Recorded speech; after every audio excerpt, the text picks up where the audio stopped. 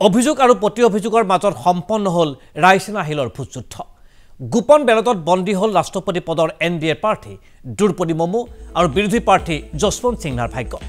এইবুলি ৰাষ্ট্ৰপতি নিৰ্বাচনত মুঠ ভোটাৰৰ নিৰান্নব্বৈ দশমিক এক আঠ শতাংশই কৰিলে ভোটদান।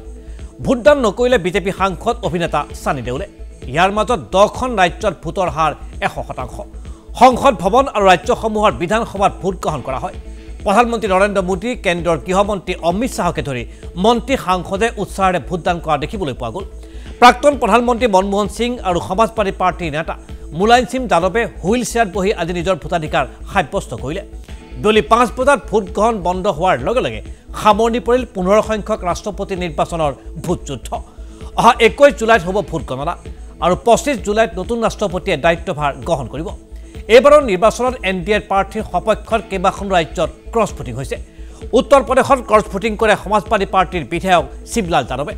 শিৱপাল যাদৱ অখিলেশ যাদৱৰ খুৰাক শিৱপাল যাদৱে দলৰ হুইপ অমান্য কৰি এন ডি এৰ প্ৰাৰ্থীক ভোট দিয়াত স্বাভাৱিকতেই অস্বস্তিত পৰিছে দলটোৰ শীৰ্ষ নেতা অখিলেশ যাদৱ। প্ৰতিৰক্ষা মন্ত্ৰী হৈ থকা কালত সমাজবাদী পাৰ্টীৰ নেতা মুলায়ম সিং যাদৱক আই এছ আইৰ এজেণ্ট বুলি যশৱন্ত সিন্হাই আখ্যা দিয়া পুৰণি ঘটনা এটাৰ অজুহাত লৈ শিৱপাল যাদৱে ভোট দিয়ে এন ডি এৰ প্ৰাৰ্থীগৰাকীক। ইয়াৰ উপৰিও উৰিষ্যাৰ কংগ্ৰেছৰ হুইপ অমান্য কৰি বিধায়ক মহম্মদ মাকিউমে ভোটদান কৰিলে এন ডি এৰ প্ৰাৰ্থী দ্ৰৌপদী মুৰ্মুক দ্ৰৌপদী মুৰ্মুক মাটিৰ কন্যা আখ্যা দি ভোট দিলে কংগ্ৰেছৰ বিধায়কগৰাকীয়ে।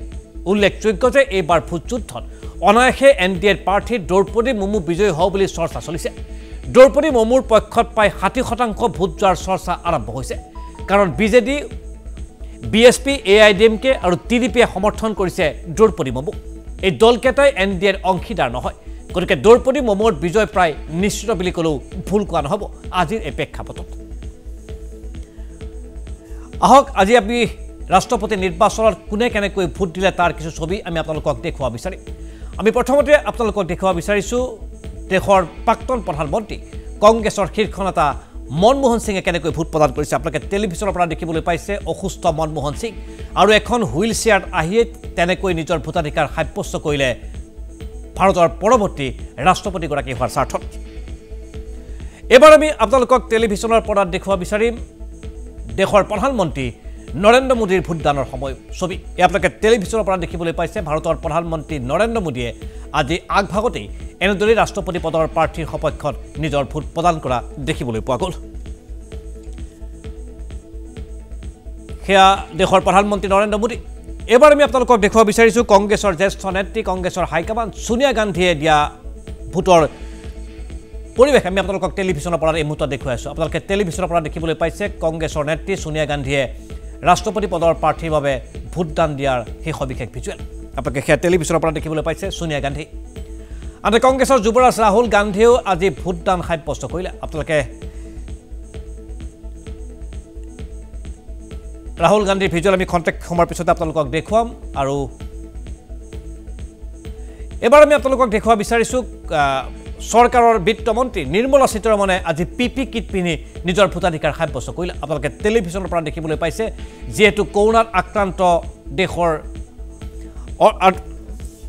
মন্ত্ৰীগৰাকী আৰু সেই অৱস্থাতে তেওঁ পি পি কিট পিন্ধি আজি নিজৰ ভোটাধিকাৰ সাব্যস্ত কৰিলে দেশৰ পৰৱৰ্তী ৰাষ্ট্ৰপতিৰ বাবে আপোনালোকে টেলিভিশ্যনৰ পৰা দেখিবলৈ পাইছে পি পি কিট পৰিধান কৰি দেশৰ বিত্তমন্ত্ৰী নিৰ্মলা সীতাৰমণে ভোটাধিকাৰ সাব্যস্ত কৰাৰ দৃশ্য।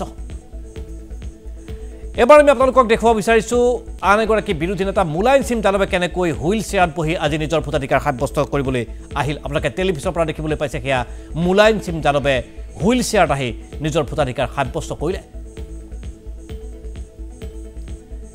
এইবাৰ আমি দেখুৱাব বিচাৰিছোঁ চাউথ পাৱাৰ এন চি পিৰ নেতা চাউথ পাৱাৰে ভোটদান কৰাৰ ছবি আপোনালোকে সেয়া টেলিভিশ্যনৰ পৰা দেখিবলৈ পাইছে। এন চি পিৰ নেতা চাউথ পাৱাৰৰ ভোটদান কৰাৰ মুহূৰ্তৰ ছবি। আমি দেখুৱাব বিচাৰিছোঁ এবাৰ ৰাহুল গান্ধীৰ ভিজুৱেল। ৰাহুল গান্ধীয়ে কেনেকৈ আজি ভোটাধিকাৰ সাব্যস্ত কৰিলে ৰাষ্ট্ৰপতি পদৰ নিৰ্বাচনত? তাৰ ছবি আমি আপোনালোকক এই মুহূৰ্তত টেলিভিশ্যনৰ পৰা দেখুৱাই আছোঁ।